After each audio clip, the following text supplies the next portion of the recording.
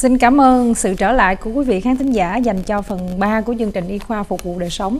À, bác sĩ Mai có ờ, muốn chia sẻ gì ạ? À? Vâng, thì cũng ờ, cảm tạ các ờ, bệnh nhân của mình đã tới thăm phòng mạch mới cũng như khám bệnh tại phòng mạch mới đều thích à, lý do là chỗ đậu kinh rất là thoải mái rộng rãi và cái chỗ phòng đợi thoải mái mát mẻ nhiều nhiều bathroom nhiều restroom không phải đứng xếp hàng chờ nhau đi. Rồi phòng cái nơi tiếp tăng cũng rất là uh, đẹp và có đầy đủ nhân viên 4 năm nhân viên làm việc. Nói chung là rất là uh, mừng và quý quý vị đã uh, tới ủng hộ. Uh, và nhưng mà nó cũng có một số quý vị nói là à, do quý vị lớn tuổi cao niên phải đón xe bus không lái xe được thì nhiều quý vị ở những cái đoạn trái đường có thể phải đón hai chuyến xe bus mới tới. Mặc dù chỗ này nó có chỗ à, xe bus đậu nhưng mà do trái đường phải đón hai chuyến cho nên à, ở trường à, phòng mạch có chương trình à, đưa đón giúp cho quý vị. À, quý vị đừng có ngại cứ gọi phòng mạch mấy cô sẽ giúp đỡ cho quý vị. À, quý vị muốn đi bác sĩ thì làm hạn xong à, báo trước rồi chúng tôi cho số phone để gọi à, cho quý vị. À, quý vị có thể được đưa đưa đi đưa về. Mà quý vị không có phải à, tốn tiền. À, cái đó là quý vị có thể tiền thiếp gì thêm cho những người này là làm việc thiện nguyện là rất là tốt nha. À, giúp đỡ mấy cụ. À, và một à, lần nữa thì xin à, cảm tạ quý vị đã à, cái cuộc à, cái thay đổi phòng mạch cũng không có gì là à, có uh, rắc rối gì hết. So, uh, gọi là so far so good. Yeah. Dạ. à, cái chuyển chuyển một phòng mạch nó còn khó hơn chỉ một cái nhà ừ. thì dung miễn nhà là mình chỉ dọn furniture đi thôi còn chuyển phòng mạch mình phải làm ba bước lận thứ nhất là furniture ừ. à, đồ đạc trong đó phải dọn đi thứ hai là bệnh nhân à, phải thông báo phải dọn đi cái thứ ba là phải thông báo cho các cơ quan về y tế để họ biết ừ. mình đã đi đi đâu và đi chỗ nào à rồi họ sẽ xuống họ coi thử như thế nào. Ừ. có đúng là mình đi chỗ đó cái chỗ đó có đàng hoàng sạch sẽ hay không? Bảo đảm là bà con xuống là rất là thích thì ừ. họ approve liền. À, tại vì chỗ này là chỗ mà các bác sĩ trước đây làm việc. À, bảy à, tám bác sĩ làm việc lận chứ không phải là một. Cho nên ừ. rất là rộng rãi cho quý vị à, để mà làm. Và tất cả các dịch vụ siêu âm lấy máu và bấm huyệt đều đều làm việc à, rất là hăng say và và không phải tranh nhau từng phòng à, có nhiều phòng. có nhiều phòng. À, cho quý vị. Rồi à, cô Thị Dung à, nói tiếp về vấn đề à, câu à, câu hỏi là nếu không cô Thị Dung. này. dạ vâng thưa có à, à như thế này. Đó là tôi dùng metformin đã lâu kiểm soát bệnh tiểu đường tương đối tốt. Vừa rồi tôi có nghe metformin có thể hại thận. Xin hỏi tôi có nên tiếp tục dùng metformin hay không? Hiện giờ tôi đi thử máu thì kết quả thận bình thường và A1C là 6.6 quý vị à, câu hỏi này là cái metformin là cái thuốc mà các bác sĩ thường nói nó là thuốc số 1 để trị tiểu đường. Và bác này kiểm soát rất là tốt nhưng mà nghe hàng xóm hay nghe trên đài người này nói này nói nọ thì đâm ra lúng túng không biết cái thuốc này nó tốt cho tôi hay không. Một lần nữa tới giờ này tôi vẫn khẳng định với quý vị cái mặt metformin là thuốc tốt là vẫn là thuốc số 1 number one choice. Thậm chí vừa rồi cách đây vài ngày thôi à một cái cơ quan à, doctor prescription mà tôi thường trả tiền để họ gửi về cho tôi những cái thuốc mang những cái phổ cập mới nhất thì họ còn tung hô cái thuốc metformin à tức là những cái người suy thận trước đây suy thận nhẹ đó quý vị thì không nên cho thuốc metformin nhưng mà bây giờ họ lại nói là cứ cho không sao hết. Chừng nào suy thận nặng hơn. À, cái CFA mà dưới 45 thì chúng ta mới không nên cho metformin chứ từ từ nhẹ nhẹ dưới 60 45 GFA tức là cái khả năng lọc thận của chúng ta vẫn tốt thì chúng ta vẫn đi vẫn có thể cho metformin và với metformin vẫn là cái thuốc tiên phong trong uh, chữa đường uh, tiểu đường. Dạ vâng. uh, và các bác sĩ đều đồng ý như vậy. Nói tới đây thì chúng ta bây giờ cái nó thường bị nhiễu loạn.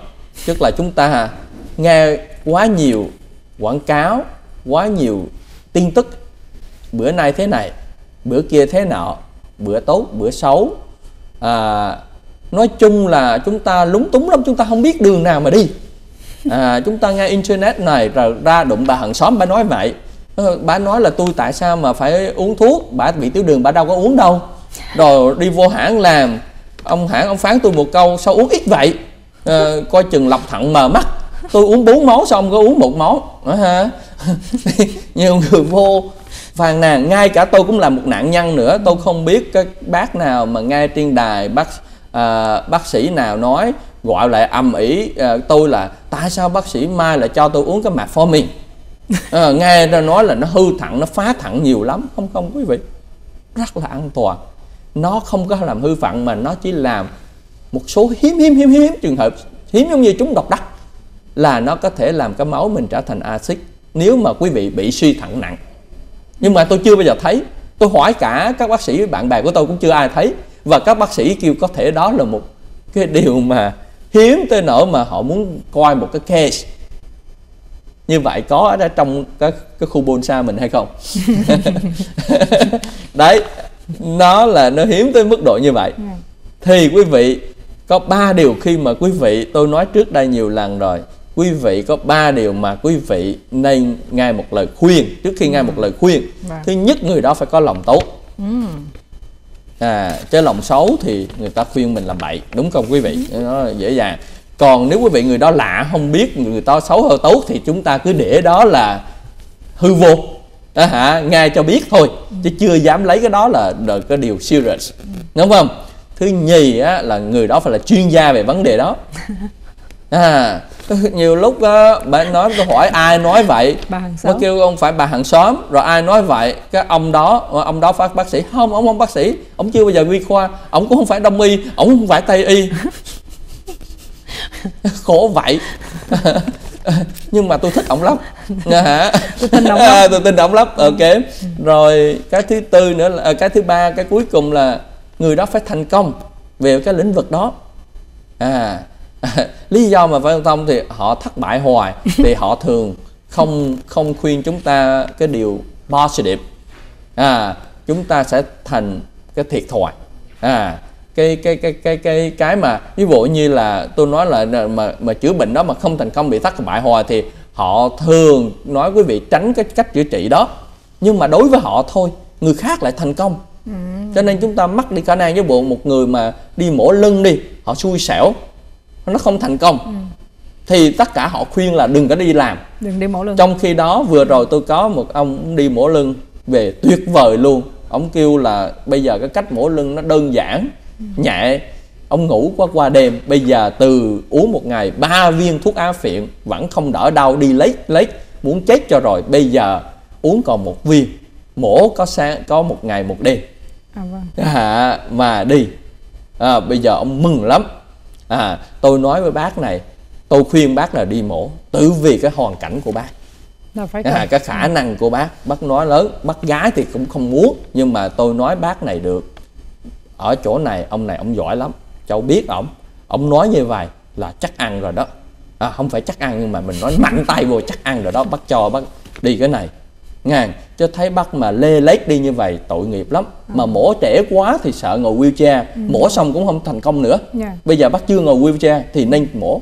Trường hợp của bác này dạ. là bị cái gì ạ? À, cái cái cái cái dây thần kinh thần kinh tọa nó bị chặn bị đè. Cho nên nó làm liệt dưới hai cái chân bây giờ phải mở nó để giảm cái áp suất đè lên nó đi. Ừ. à nó vết mổ rất là nhỏ nhỏ à tất và đã thành công. Đã, đã, đã, đã thành công. Bây giờ bác uh, mừng. Ừ. bác này là một cái nhân vật rất là nổi tiếng ở vùng này. À, bác nói là ồ hồi kia cộng sản chưa giết tôi được mà năm mậu thân đánh tôi. Tôi chỉ còn giữ lại vài à, vài vài anh em còn vài có súng mà kiên cường à, cố thủ à, ở ở Huế. Mà không th- mà tưởng là chết rồi mà cuối cùng vẫn đánh bắt được họ để giữ cái cứ điểm cuối cùng thì kêu lần này thì bác sẽ chiến đấu một kỳ nữa à, nhưng mà lần này cháu phải nghĩ là bác sẽ thành công nữa à, đúng vì vậy bác này rất là thành công yeah. Ờ, tức là mổ không có bị biến chứng gì hết về rất là ngon lành Kết uống ít đau hơn. là đi Dạ. lại không cần gãy chống xe lăn và uống bớt thuốc đau lại Vâng. rồi Một cái câu hỏi cuối như thế này nhé. À, đó là bố của tôi bị nhức đầu và chảy máu trong não, nhưng may mắn là đã cứu chữa kịp thời. Hiện giờ bình phục rất là tốt. Xin hỏi đau đầu như thế nào thì cần phải đi cấp cứu ạ? Vâng, cái à, cái câu hỏi là cái, cái đau đầu như thế này thì chúng tôi nên gọi 911. Tại vì đau đầu nhiều lắm quý vị. Ờ, Chắc như búa bổ. Và ăn không ngon, ngủ không yên, buồn bực, giận đều có thể gãy tới đau đầu, migraine, đau đầu thống, đai căng thẳng thần kinh.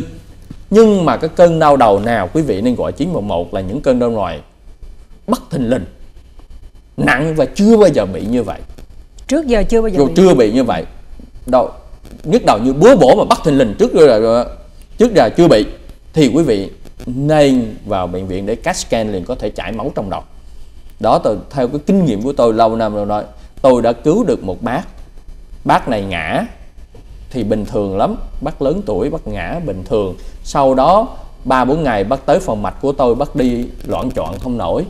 Hỏi bác có nhức đầu nhức lắm, bác sĩ ơi. Kêu người con chở vô UCI liền tức khắc cho tôi. Vô đó họ đục cái lỗ chảy máu đầy trong đầu rồi, hút máu ra. Bây giờ bác đã đi lại, hơi bị yếu một bên, nhưng mà đã đi lại được rồi được rồi. Cho nên, những cái trường hợp nào mà quý vị có cơn đau mà bất thình lình, lạ như búa bổ chưa bao giờ có. Nếu mà thêm những triệu chứng khác như là hoa mắt tay chân bị yếu đi nói năng khó khăn quý vị phải lạc đặt chở vô bệnh viện. Tại vì cái này là stroke là stroke thường chảy máu.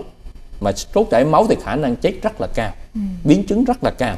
Cho nên những cái cơn đau nào mà bất thình lình nặng và chưa bao giờ thấy như vậy thì nên vào bệnh emergency. Khi mà cơn đau đầu mà bất thình lình nặng như bố bổ.